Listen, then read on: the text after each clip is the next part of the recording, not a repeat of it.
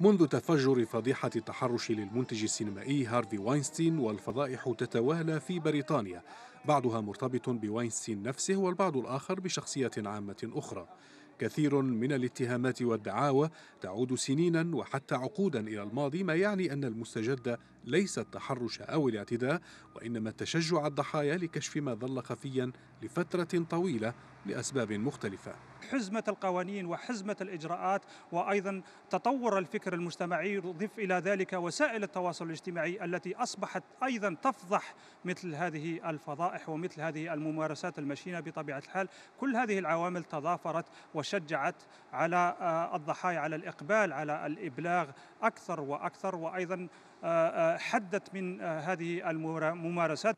And I am therefore resigning السياسيون كان لهم النصيب الأكبر من فضائح التحرش الجنسي وحتى الاغتصاب. بعضها أدى إلى تحقيقات وإقالات واستقالات وحتى إلى حالات انتحار.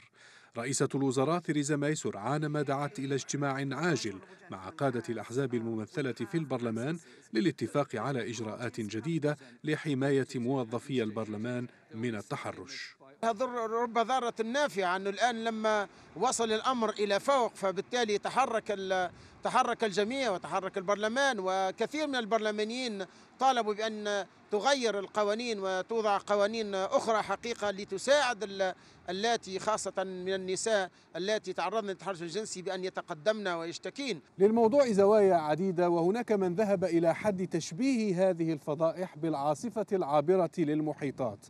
لكن الضحايا والحقوقيين لا يريدونها مجرد زوبعة عابرة وإنما هبة مستمرة لمكافحة الظاهرة ولمعاقبة المعتدين ولحماية الضحايا. علي وجانا الحرة لندن.